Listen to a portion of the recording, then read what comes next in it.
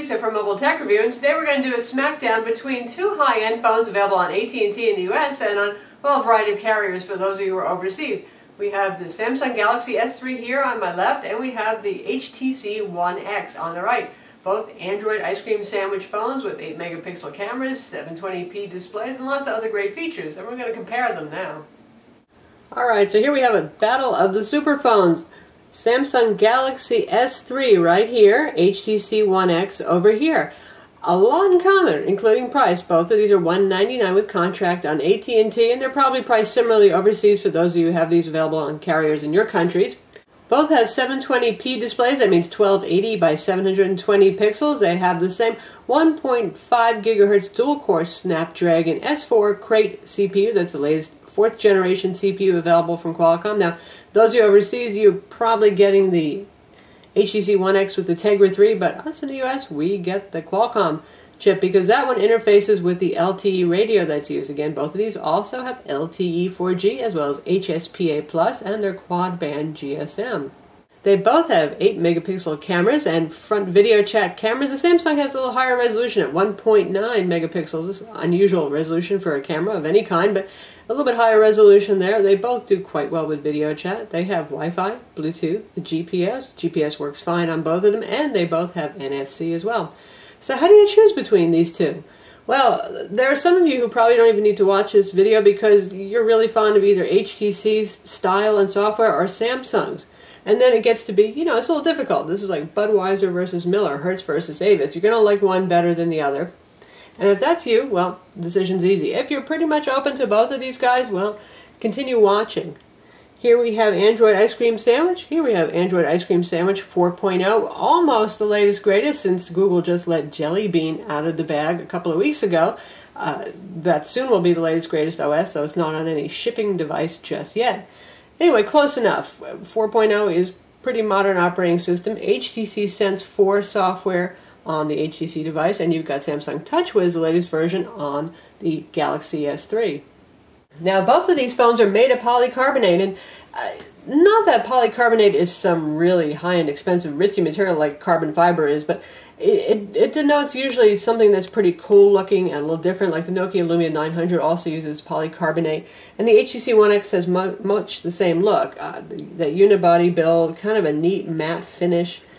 It looks like a quality piece, a little glossy on the sides here, and you can watch our full video reviews of each of these devices and read our written reviews to learn even more. Good looking phone. It's available in uh, blackish gray or in white. And it looks like pretty chic.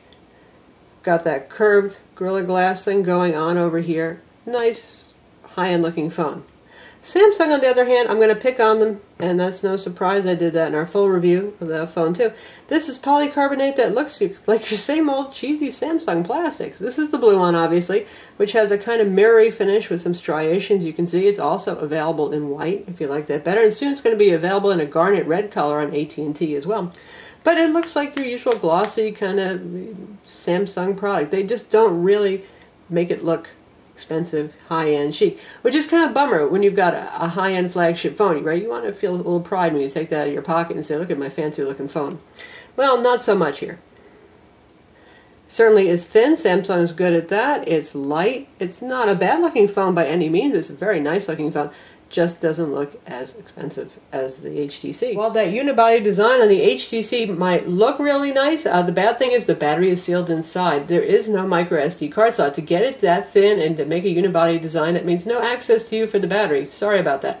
So you've got your 1800 milliamp battery inside, and if you need more power, you're either going to have to use some kind of external charging pack or, well, plug it into the wall. But Samsung gets extra points for having a removable battery. You can actually take the back off the phone.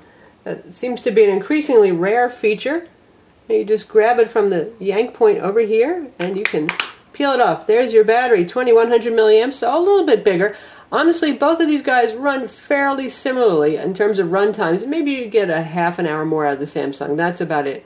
You've got your micro SIM slot here and your micro SD card slot. Nice. So you can expand the storage. Both of these guys have 16 gigs of internal storage. So again, big points to Samsung there for that expandable storage and for the removable battery. In terms of RAM, the HTC has the usual high-end 1 gig of RAM. The Samsung, funny thing, when it made this, this switch from uh, the Exynos CPU that's available overseas to the Qualcomm dual-core, it got 2 gigs of RAM. I think it's kind of a consolation prize. Right now, it's not that you generally need that much to run your applications, but it's there for you. In terms of synthetic performance, you're looking at pretty much identical benchmarks because they're running, well, the same CPU. So you're going to see about 5,000 on Quadrant, for example, close to 60 FIPS on GL benchmark tests. The, the HTC tends to score a point or two higher. Hard to say why that is, but that's not really very significant in terms of frames per second performance. They're both very good. And they both run games equally as well. Again, they're on, you're looking at the same internal hardware here, the same brains. They both do Adobe Flashes as well, web browsing. So we're not going to bore you and show you web browser load comparison times or flash performance because it's the same on both of these. Speaking of browser load times, both of these have LTE 4G on AT&T, and they have pretty much identical reception too, so no real deciding factor there. Don't go by the bars, go by the reported decibels of signal, and doing that, you can get to that in settings, by the way, about this phone, and you can look at your network settings and information. Uh, they pull in the same signal, and they both do well. Both have excellent voice quality also. They're my two favorite voice phones on AT&T for call clarity. The HTC has a somewhat louder speakerphone, give us some points there, and it has that Beats audio, so you get some pretty nice sound out of headphones. Yeah, a little bit bassy maybe, but sounds good. Now, in terms of display, HTC gets the advantage here. They have a Super LCD 2 display here. Really, really excellent wide viewing angles, good outdoor visibility, nice natural colors, and very sharp. It's one of the nicest displays I've seen. It, it kind of reminds me a little bit of the iPhone 4S's Retina display in that respect. It just has a sharpness and a richness of colors, but not overblown colors. It's very pleasing. It's also great for reading, whether you're reading web pages or you're reading ebooks. Samsung loses points because they're still using that Super AMOLED display. It's called Super AMOLED HD. HD just eh, refers to the actual resolution display. It's not a new technology per se like Super AMOLED Plus is. Super AMOLED Plus moves on to get away from that pentile matrix that is used in Super AMOLED right here. Uh, what that means is not quite as sharp a display, not quite as many subpixels. Now, most people with the naked eye are going to look at it and say, well, it's really colorful, it has awesome contrast, and that's quite true, and it's bright indoors.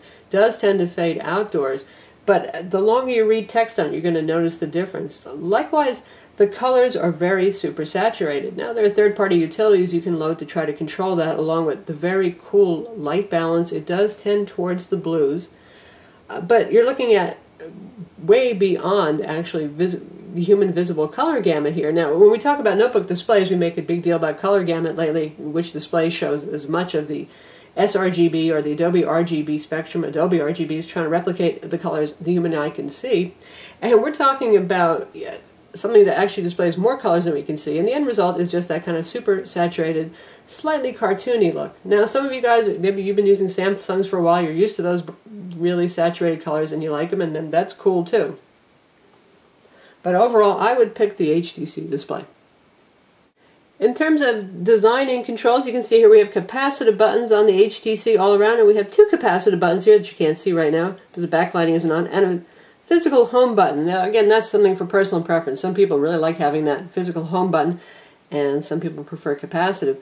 I thought I would love that physical home button at first, but actually, I, because it's so far down towards the edge and you have to press harder, that physical press, I actually found it a little bit annoying because I would tend to flip the phone out of my hand when I was pressing the button. But again, that's, that's a personal preference kind of thing. Power buttons up top for the HTC. Um, that can be a problem if you have smaller hands, because if you're holding the phone like so in your hand, you might, might not be able to reach all the way up here. If you're just holding it normally like that, or with the other hand, it can be a bit of a stretch. I have pretty big hands, I can deal with it, but the Samsung's is on the side where Samsung always puts it a little bit easier to reach. I know a lot of people are liking that better. Both have volume controls that are easy enough to use, and uh, other than that, they're pretty much ergonomically comparable. The HTC has a kind of matte finish, so it stays in the hand a lot easier, though. This guy, because it's curvy and it's shiny and it's slippery, it's kind of like a bar soap. It just likes to squirt out of your hand. When it comes to cameras, the HTC One X made a big splash because it, it has a very fast lens, a backside illuminated sensor, and a dedicated imaging chip, so it can do cartwheels in terms of camera tricks, simultaneous shooting of photos as while it's doing 1080p video recording, for example.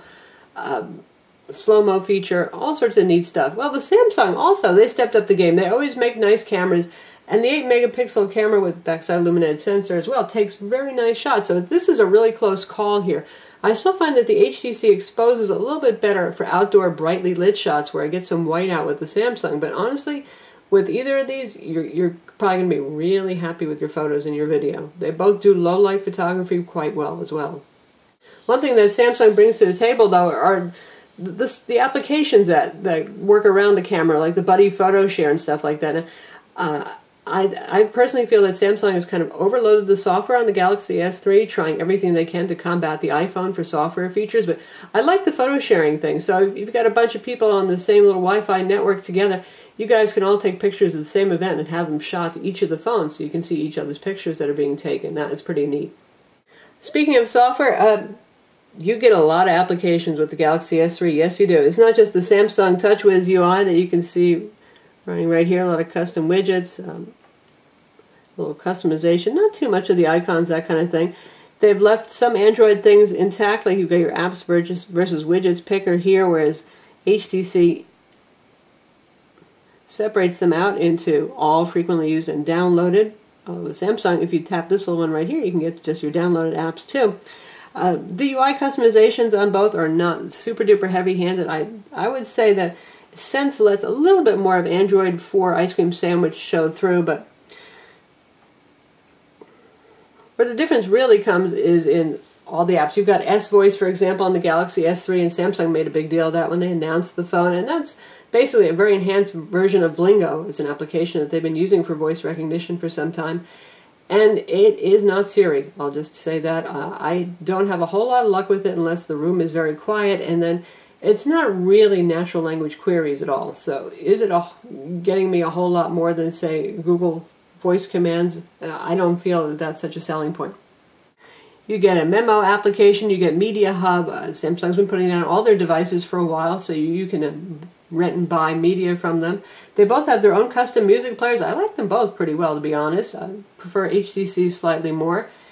And Samsung has other clever things they do, like they try to do face facial recognition of pictures, so you can match uh, folks in your contacts, that kind of thing. It it works okay. It doesn't work great. I, again, there's a lot of features here, and I think some of them are going to need some fine tuning. It'll be interesting to see where they go in a year. But right now, you know, it thought a plant was my best friend in Facebook, so you get the idea. But other times it actually works very well. In terms of my personal preference, I'm more of an HTC Sense person. I have bounced back and forth between using Samsung and HTC phones for years now, but I feel like the customizations that HTC did were really to increase the usability. There's sometimes subtle little things where they just make doing everyday things with the phone a little easier instead of throwing a whole lot of gee features on top. And to show you what I mean about ease of use things, we're actually looking at a calendar appointment both of these despite the very different user interface. The HTC goes with the white, the Samsung goes with the kind of black look there. And I have a dial-in number and a PIN number for both of these. And I'm thinking, like, how am I going to see that PIN number when I'm, I'm starting to dial? So at the HTC, we tap to dial our number. It's going to make the, we're going to make the call here. And see this little button right here, I can just tap this, and then here's all my information still, so I can see my Concall attendees' names, I can see the PIN number, and I can enter it on the keypad pretty easily. Now, with the Samsung,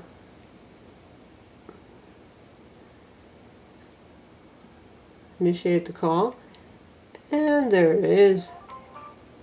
Here's the menu button. There's no way to bring up any feature like that. We can get to the keypad, we can end call, we can do headset and that kind of thing, but I can't really see it without going back and looking at my appointment, then I'm not in my dollar screen anymore. So that's the Samsung Galaxy S3 versus the HTC One X, both available on AT&T. And honestly, either way you go, you're not going to go wrong. They're both really nice high-end smartphones, identical CPU processing power, uh, same amount of storage inside, 16 gigs of storage available. Samsung gets the win for expandable storage and the removable battery. HTC gets a win for a better quality display, more accurate colors, a little sharper looking. And for their slightly, ever so slightly better camera, and personally I'm preferring that Sense interface and software to the Samsung TouchWiz and added applications. I'm Lisa from Mobile Tech Review. Don't forget to watch our video reviews of each of these phones, read our written reviews, and subscribe to our YouTube channel.